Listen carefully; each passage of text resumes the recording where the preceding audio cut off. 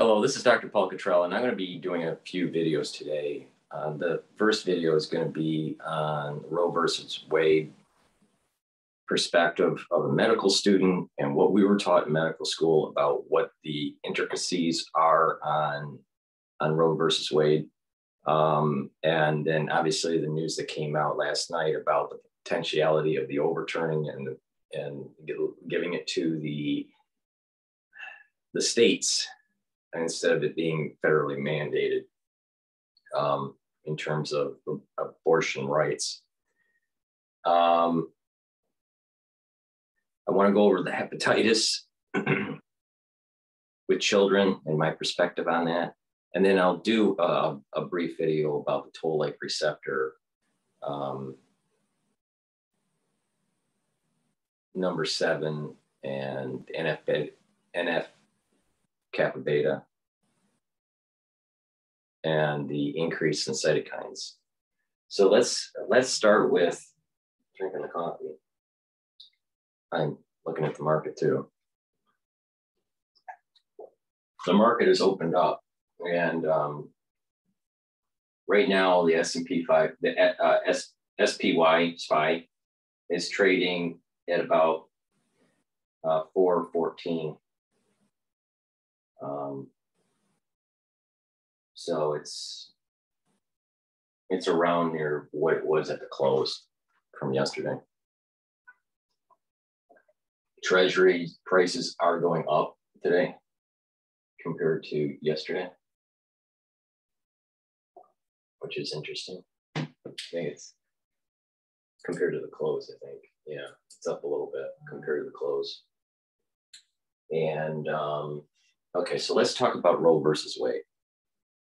Um, last night, Roe versus Wade paper from from one of the justices that are more conservative, Alito, uh, wants to overturn Roe versus Wade. Now, what last semester we went into detail because we were in um, the reproductive module of learning, you know, female organ systems and the whole gestation process, the birthing, what sort of drugs to administer for contraction, um, um, what sort of drugs to administer after birth, um, you know, what are some of the complications that could happen with the placenta during gestation and all that, you know, so we we covered a lot in that module and that block. So one of the lectures in reproductive, we we went over some of the details of Roe versus Wade. Now, this is from medical perspective, not the legal perspective. All right. So, from the medical student point of view, we were taught that the court, when looking at Roe versus Wade, divided the, the gestation into three different categories, three different periods. Right. This is what we call, you know, the first trimester, the second trimester, the third trimester. And what the ruling was is that well, you got to remember, this is back in the days where we didn't have very good scanning, very good ultrasound. We didn't have, you know, good amniocentesis. We didn't have uh, the molecular technology that we have today about the health of the fetus. Um, you know, so we can do a lot more with the technology that we have today than what they had back then. So we got to keep that in mind. But about 49 years ago, 50 years ago, there was this ruling, Roe versus Wade, where it allowed for individuals in the first trimester to abort the, the fetus. All right. Um, the female could abort the fetus without any questions. All right. And that the states could not, the states could not make that illegal. In the second trimester, states could regulate, but could not make it illegal uh, abortion in, in the second trimester. And in the third trimester, it was up to states. So the ruling in from from the the medical student and the medical, I don't know if you want to call it the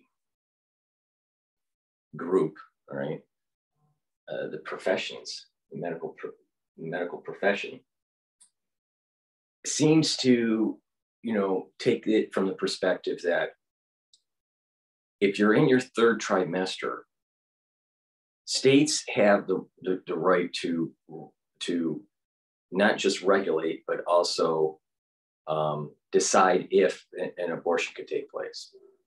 And what's been happening recently, especially around 2018 in New York, is late term abortions or even during birth abortions. So you could be fully gestated. You're going through the, you've gone through all 40 weeks of gestation. You're, you're birthing the child and in some states, legislatures have passed that it was allowable to to um, to cut the you know cut the the, the cervix the the cervical cord in, in the neck um, to kill a child all right during birth um, you have in the spinal cord, you have the cervix, the thoracic, the lumbar, right? So you have the cervical area of the neck that you can cut that and that the child will die. That's actually one way that we euthanize some of the animals in, in, in our in our uh, laboratory, um, where you can basically dislocate their their brain to their spinal cord. But all right, so not to get too gruesome, but the point here is, is that they they ended up, meaning the liberals, ended up pushing policies in contemporary time to go all the way to the point of birth for abortions. And that was not the intent of Roe versus Wade.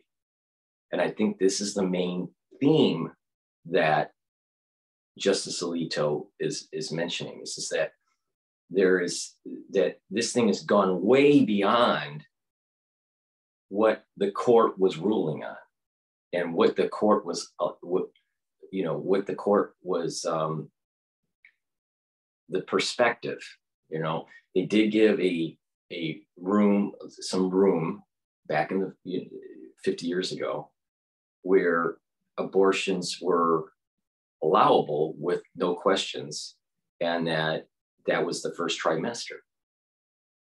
Very little very little could could go wrong. I mean there's things that could go wrong but i mean there there's less things that could go wrong during that kind of abortion type process on top of it we have technologies today through pharmaceuticals where you have the plan b pill they didn't have that back then. all right. So, so there's other means to to fill the intent of what this court was citing on in the first trimester. And then it became a gray area for this the second trimester, where it was like, well, you can regulate it, but you should be able to, they were saying that you should be able to still allow it. Um, but that was with some, you know, we didn't have, again, we didn't have the technologies that we have today. Uh, and the and the different options that women have, especially with the, the Plan B pill that could be given administered at the very beginning of fertilization, um, and to prevent the implantation. So, from a from a medical student's point of view, I think that Roe versus Wade, if left, and that liberals weren't pushing their agenda in 2018 and in 2019 on late term abortions or at birth abortions, nothing would have happened.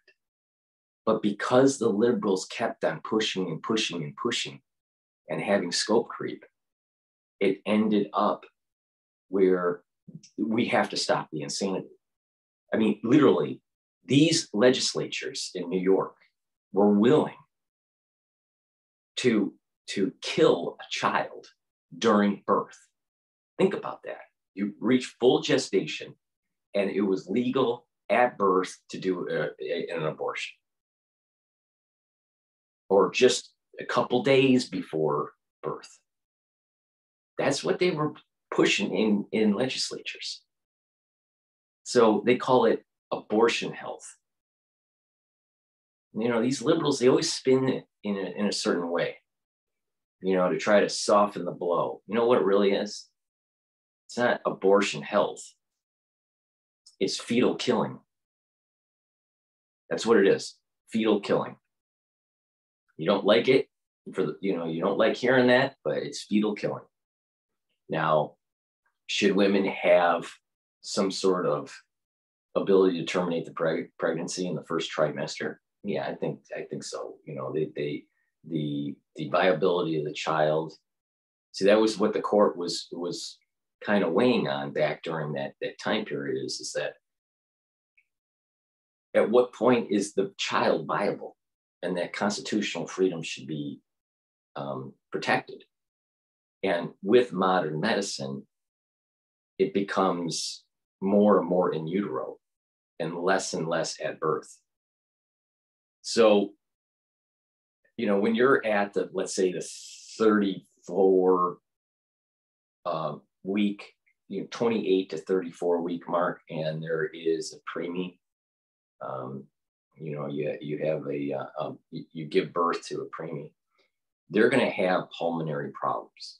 The surfactant hasn't um, hasn't produced hasn't been produced in enough quantities, um, and the alveolar uh, sacs in, in the lung uh, are premature. And you need that extra few weeks to be able to develop proper lungs. So this is the reason why a lot of preemies have pulmonary problems. But because of modern medicine, you know, some of these preemies at let's say 33, 32 weeks, maybe even younger, um, can survive with modern medicine, modern pediatric care. Um, back 50 years ago, that wasn't the case. So that's why I'm saying that the rights of the of the fetus is becoming more and more in utero rights versus rights at birth. Um, there is that gray area where that's the reason why you have the second trimester. You know, what's really going on there? Now, you're going to have the religious that say no abortions. And then you're going to have uh, the ultra liberal that's saying I want abortion even at birth or even after after birth. You know, the minute after birth, they should be able to decide if they want the child or not. Um, that was the, the craziness that was going on with these quote abortion health care or abortion care. Um, so my my take on this my take on this is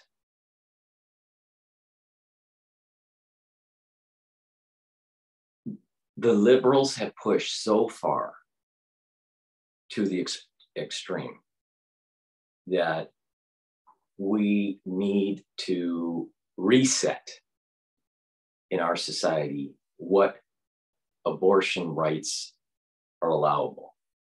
And I think not being a lawyer, just looking at it from, from a medical point of view, I think what's going on at the Supreme Court is, is that they're going to push it to the state level, and the states are going to decide if you can have an abortion or not, and that they're going to get the federal government out of the way.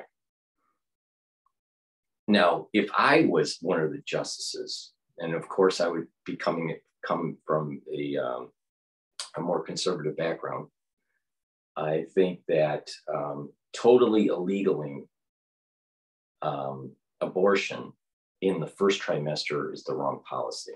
But I think that uh, when you're talking about the second or third trimester, I think that um, you know what, unless it's it, unless there is evidence in the second trimester of health concerns or the third trimester, health concerns of the mother, because some births or some gestations, some pregnancies can be very taxing on the on the female and uh, could be life threatening in some cases.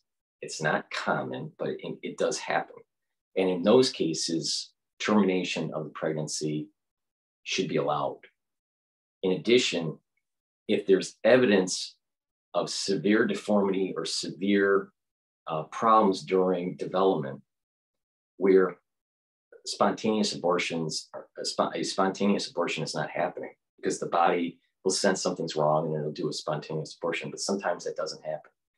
And through uh, either um, genetic sequencing or amniocentesis or through ultrasound, um, there shows deformity, then it should be the right of the parents to terminate the pregnancy. Um, so that should not be taken away from them. If the child is healthy in the second or third term, there's nothing wrong. And it's more of a, you know, it, it's, it's, it's more of an economic issue, or if it's more of, uh, you know, some sort of social issue and not a medical issue for the abortion, then I think it should be banned. I think that you shouldn't be able to do it. Now, when I was younger, I didn't care about this issue. I didn't care about, you know, a guy, you know, in his 20s or even teens is not really thinking about these kinds of these issues. So I didn't really put that much thought into it. But as an adult and going through medical school and seeing what we can do in the medically um, to try to take care of of um, of preemies um, and prenatal care, I think that abortions are killing. It's killing a, a fetus, it's killing a child. You can sugarcoat it all you want, but it's killing a human being. Within that whole gestation, over time, that fetus becomes more and more viable, especially when you hit past the 28 week mark. So once you get past the 28 week mark, um, you know, then you then you you know obviously gestation at 28 weeks is not as good as gestation at 40 weeks or 38 weeks, right? But there is a cutoff. Where that cutoff is needs to be discussed. But I, you know, I think that the first trimester someone should be able to terminate the pregnancy for whatever reason. Um, and it shouldn't be, um, the states shouldn't be able to disallow that. But after the first trimester, no, no, no. I think that unless there is a medical reason for the mother or the viability of the fetus to have a quote normal life, um, you know, then then you should, if there's evidence of that, that the, the fetus is deformed in such in such a way, but a spontaneous abortion isn't going to happen, or they don't think it will happen, then the parent should make the decision if they want to terminate the pregnancy and, and try to, um, you know, try to have another pregnancy. Um, because they're the ones that are going to have to bear the burden of a child that is, um, you know, that has deformities or has you know, you know, many issues. Um, you know, they're going to have to pay for that. They're going to have to go through that social stress, right? So they should be making that decision um, in those cases. But if the child's completely viable, you know, and they're in their second trimester and the female wants to, the, the mother wants to abort, but there's nothing wrong with the fetus, that in the second trimester, no, that should be illegal. That's killing, that's killing a child. Um, and you know, that's my take on it. you know, that's that's my take. Now you're going to hear a lot of liberals spinning it that you're, you know, the, the the conservative justices are overturning your abortion care. You know, and not focusing on that with modern technology. And they say that we had 50 years or 49 years of precedence. It was based on certain assumptions, and medics, medicine moves forward. And I think we're starting to see a change in the zeitgeist of in the United States. And I think that as a, as a country, we will prosper better and we will have a, a, a better blessing over the nation when we stop killing children in utero. Um, now, again, there are cases where you need to do this because of health concerns or because of fetal viability or, or deformities or whatever. Um, but most abortions, this is these are facts. Most abortions are because of economics or some sort of social reason. It's not because of medical reason. So that's my take on Roe versus Wade. I think it needs to be overturned and pushed to the states, but the states should not be able to make it completely illegal in the first trimester. And if there's medical reasons uh, in the second trimester or third trimester for the mother, then uh, then uh, abortion should be be able to be performed to save the life of the mother. Um, and if there's some sort of major deformity, major uh, major concern that takes place during the second or third trimester um, for the fetus, then the parents should be able to make the decision if they want to um, to bring that child into this world um, or try to start a, a, a, you know a new pregnancy. It should be their choice. But if there's something, nothing, if there's nothing wrong with the fetus, then there should be constitutional rights protecting that fetus. That's my take on it. I think it's the middle ground. I don't think it's too far to the to the right where they say all abortions should be stopped, and I don't think it's too far to the left where they're saying, uh, you know, at birth abortions are okay. Thank you for listening. That's my take on it.